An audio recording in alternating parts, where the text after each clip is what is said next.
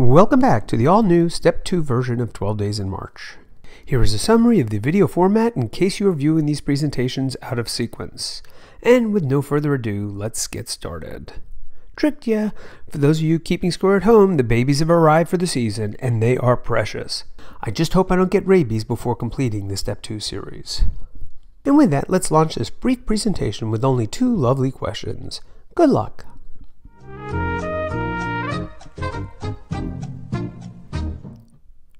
And here is question number two.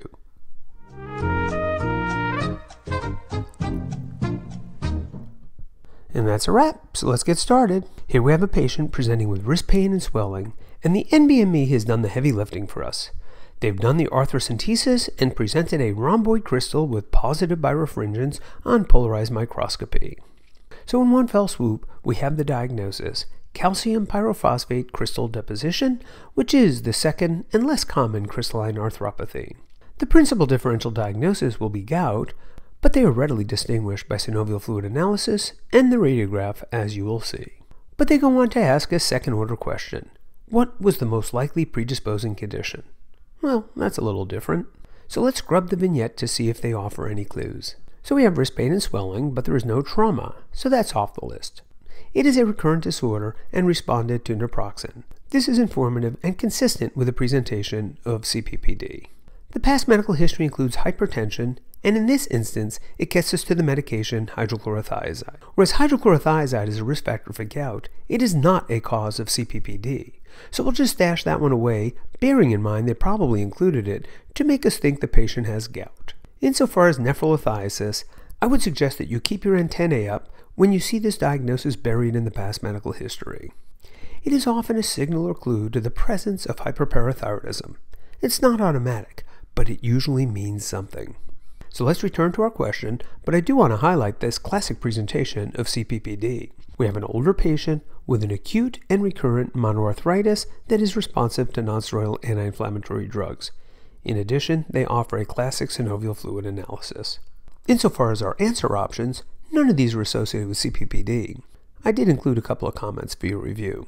But the big ticket item predisposing to calcium pyrophosphate crystal deposition is hyperparathyroidism, a classic step 2 derivative. And here are the key takeaways you should have for CPPD. Note the older demographic, the description of an acute and recurrent monoarthritis with asymmetric joint involvement to distinguish it from rheumatoid arthritis. For treatment, the therapy is principally abortive with nonsteroidals, colchicine, and glucocorticoids. But the key and subtle derivatives are the disease associations, hyperparathyroidism and hemochromatosis. You should stash these two little nuggets away. All right, let's move on to the next question.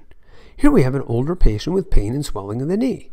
Stiffness is reported. I will caution you that they throw around stiffness to make you think osteoarthritis or rheumatoid arthritis. Be sure to always interpret stiffness in the context of the vignette. They go on to describe an effusion, but then give a graphic pointing to an abnormality and describe it as a radio-opaque line within the hyaline cartilage. That radio-opaque line represents deposition of calcium pyrophosphate crystals within the hyaline cartilage, and I would suggest you be familiar with both the graphic and radiographic description. They are both classic for CPPD, which may also be referred to as chondrocalcinosis.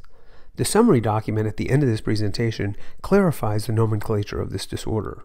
So based upon the radiograph, we've made our diagnosis, but they go on to ask the derivative question, what will be seen on synovial fluid analysis?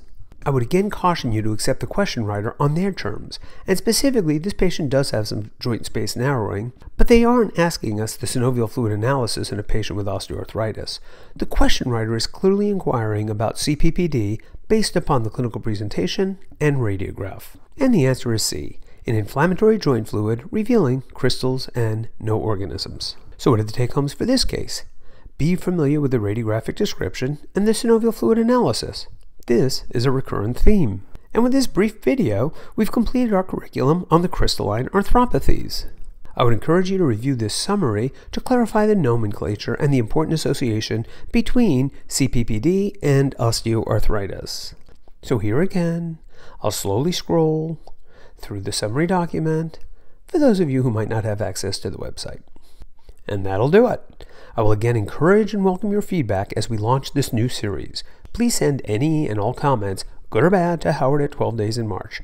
Many thanks and best of luck with your studies.